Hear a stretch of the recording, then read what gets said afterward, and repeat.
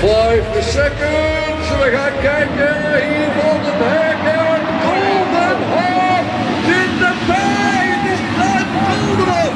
Met de Stanley Construct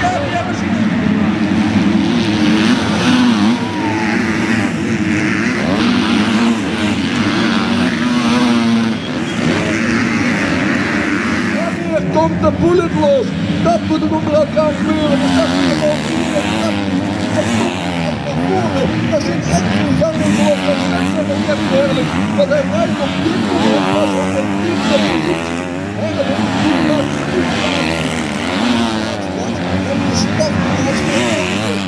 En dat is de Volkswagen Amarok staan. Helemaal gemaakt voor Glenn Koldenhoff door de firma van Mossel hier uit Valkenswaard. Die willen we daar dan ook hartelijk voor danken dat Koldenhoff gebruik heeft mogen maken de laatste weken van die prachtige Volkswagen Amarok. En hier komt hij weer. Kijk eens, wat zit hij lekker in zijn vel. En wat voelt hij zo goed. Start nummer 259. Glenn Koldenhoff.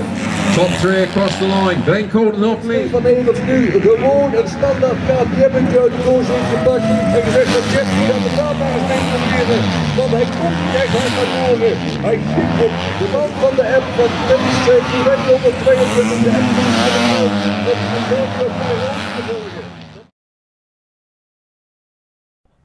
Ja, als grote favoriet ook het hek in. Ehm, op de eerste twee trainingen gingen goed. Eh, twee, twee keer het snelste, met sowieso anderhalve seconde elke keer. En toen in de, in de heat race eigenlijk slechte start. En, eh, ja, daar is altijd, eh, zit altijd meer risico's aan verbonden. En uiteindelijk van een 16e plaats terug naar vierde gereden.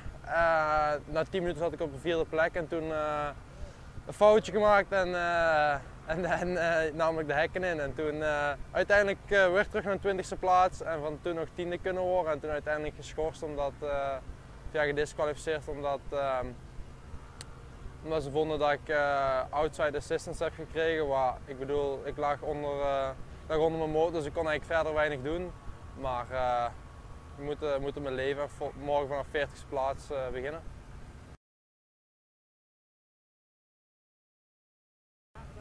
Ik, ja, ik dacht ik ga eens rustig aan doen. Ik, heb 20 minuten en, en ik wil niet, ik wil niet uh, meteen, uh, meteen te val komen of zo. En, uh, en ja, ik zei tegen mij, ik probeer niet te vallen en uiteindelijk nog, nog hard neergegaan. En ik denk wanneer, wanneer je niet 100% rijdt, dat de risico's groot zijn wanneer je wel 100% rijdt. Dus misschien is vanmorgen om dan toch maar iets harder tekeer te gaan en dan uh, misschien de risico wel kleiner om, uh, om neer te gaan.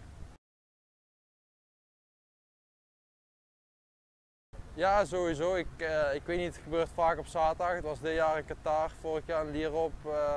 Al heel vaak geweest dat ik op zaterdags op een of andere manier met de starterval kom of met begin. En dan reek zondags wel de sterren van de hemel. Dus als het daar morgen mag zijn, dan ben ik tevreden man. Nooit van de 40ste plek af moeten beginnen, maar alles moet zijn eerste keer zijn.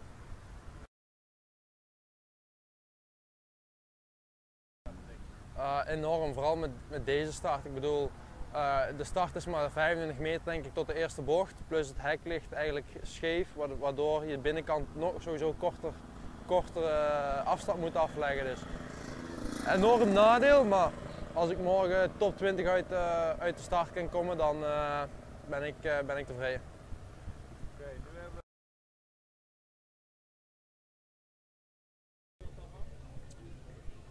Ja, wat vandaag is gebeurd, uh, ja, hij heeft op het moment heel weinig uh, tegenstand. Uh, vorig jaar was er Tommy Searle die hem echt scherp hield. En dit jaar is er eigenlijk niemand. en vandaar dat hij zijn grootste tegenstand is voor zichzelf. En vandaag is het even fout gegaan. En dat is natuurlijk goed dat dat vandaag gebeurt en niet op de wedstrijddag. Uh, en gelukkig heeft hij zich niet geblesseerd. Dus ik vind het wel goed dat ze even een wake-up call voor Jeffrey om te zeggen van er moet nog, nog altijd eerst voor gestreden worden voor dat alles binnen is. ik heb hem ook vlak voor de, voor de start gezegd van niet te zelfzeker zijn, want dan gaat het fout. En ik had misschien beter niet gezegd.